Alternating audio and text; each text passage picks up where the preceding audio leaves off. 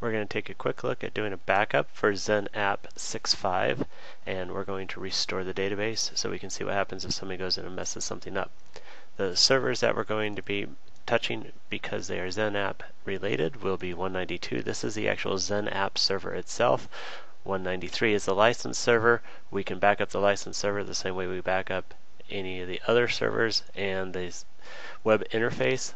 So we're not going to do much with these, but 195 is the SQL server that's holding the database for XenServer. So we will be touching that one. So we're going to start by doing a backup of the database as it is. So I've created a job for it. Let's go ahead and run the backup now. Immediate start. I'm going to do the backup into a media pool and it is started. So it is 1955. Let's go ahead and go into our backup tab. Our backup is active and successful. Pretty quick backup, not a huge database.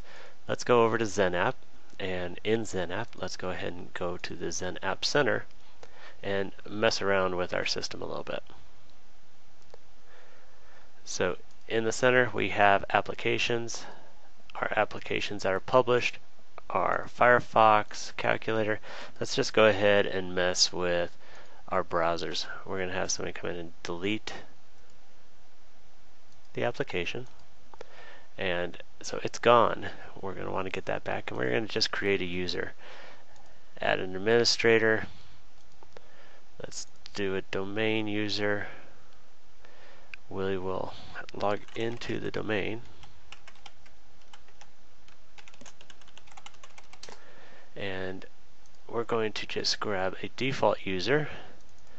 We'll grab the guest user since it really should never be an administrator on the system. Okay, we'll say next. We'll give him full administrative rights. So we've got a guest admin, need to get rid of it, and we've lost one of our applications. So let's go ahead and close this and go over to our SQL Server. Now we have a backup. We did the backup when we started. We're going to go ahead and go into the SQL Management Studio. We know that it's corrupt. We want to do a restore. So we're just going to go into our databases. Quickest and easy way. Let's go ahead and detach and drop that database. Gone. We're going to go back to our SEP sesam backup. Let's go to the clients and we're going to do a restore task for this backup that we did. Backup task is there. We have several of these that have run.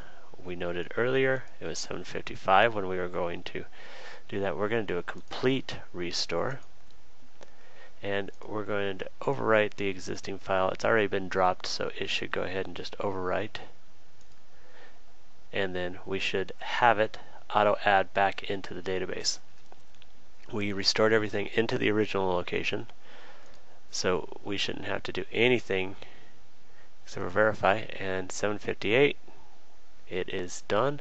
Let's go back to our SQL server and if we do a refresh on our database we'll see that this is back. Let's go back over to XenApp let's go into XenApp Center and let's see if our application is back and the user is gone. So we've fixed any corruption that's happened to the database. Administrators, that user is gone. Applications, our application is back.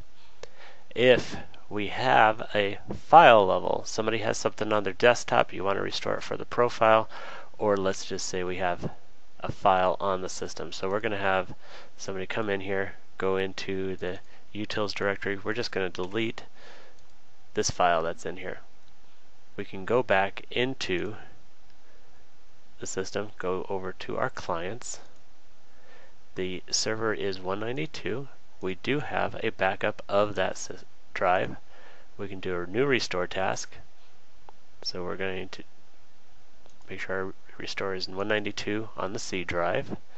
We're going to restore this and we're only going to restore one file. We don't want to restore the entire system it's just trying to get one item back. So let's dig down into the system, C colon utils sep and we're going to grab the one file that we deleted.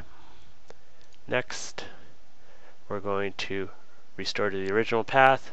Don't overwrite existing files. In this case, it's not existing because we deleted it. It's gone. If we go back to our Restore tab, we'll see that the job is active.